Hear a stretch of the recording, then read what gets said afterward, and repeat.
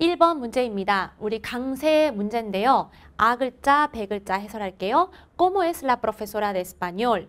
스페인어 선생 어때? Es simpática y lleva gafas.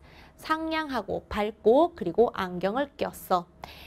lleva gafas, gafas. 뒤에서 두 번째죠. 그래서 우리 단어들 선택지를 읽어보면 abril, color, orden, reloj, ciudad. 자, 뒤에서 두 번째 어디에서 느껴졌습니까? 네, 3번입니다. 이거는 en와 s로 끝나는 단어들은 뒤에서 두 번째 모음에 힘이 있기 때문입니다.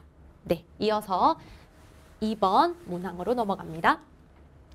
어, 빈칸에 들어갈 글자를 모두 조합하여 만들 수 있는 낱말은 자, 요 단어 우리 꼬르바다 맞죠? 얘는 pantalones, 여기는 abrigo, 여기는 calcetines. 그렇죠? 이 글자들을 조합하면 답이 cita, 약속, 약속이라고 나옵니다. 나머지 선택지의 뜻은 꽃바, 와인잔, 이슬라, 섬, 라고, 호수, 따싸, 우리 찻잔이라고 볼 수 있습니다. 네, 이어서 3번 빈칸에 들어갈 말로 알맞은 것은 Esta es la foto de mi familia.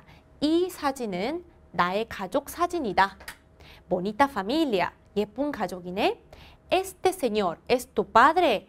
이 아저씨는 너의 아버지시니? No, es mi. 아니, 나의 모이다. Soy su nieto. 네, 나는 그의 손자이다. 자, 선택지요. tío, 삼촌, hijo, 아들, primo, 사촌, abuelo, 할아버지, sobrino, 조카입니다. 그러면 니에또랑 관계가 되는 사람은 우리 4번 아부엘로가 되겠습니다. 네, 4번 문항이요. 빈칸, 빈칸에 공통으로 들어갈 말로 알맞은 것은 이라고 합니다. Todavía es uh, para entrar a clase 라고 하고 수업에 들어가기 위해 우리는 아직도 뭐뭐하다. Ha empezado a. 자, empezar a 동사 원형. 비 오기 시작했다. 그러고선 대 이렇게. 자, 우리 선택지 보면요. 렌토는 느린, 그리고 프론토는 곧, 빠른, 프로피오, 네, 본인의, 라피도, 빠른, 프록시모, 다음의라고 하고 있는데요. 여기서 우리 시간 표현을 프론토로 채워주는 게 맞습니다. todavía es pronto라고 하면 이 뜻이 시간의 덩어리로서 아직도 이르다, 이른 시간이다. 그래서 아직도 일러 뭐 하기 위해 수업에 들어가기 위해 그러면서 ha empezado a llover 비 오기 시작했다. 그리고 pronto입니다. 우리 과거 시제를 배울 때요. pronto라는 단어가 갑자기, 갑작스럽게라고 해석을 하잖아요. 그래서 만약에 첫 번째에서 조금 알아보기 힘들었다면 두 번째에서는 요 전치사 도움을 받아 pronto라고 네, 알아봤으면 여기서 채울 수 있었습니다. 네.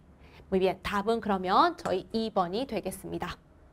이어서 5번 문항입니다. 5번은 빈칸에 들어갈 말로 알맞은 것은 Están muy dulces estas naranjas. 자, 여기요. 이 오렌지들은 어때요? 매우 달다. 근데 맛보니 달다. 그렇죠? 어떤 상태 표현. Sí, están ricas. 음, 맛보니 맛있다. 그렇죠? 상태 표현.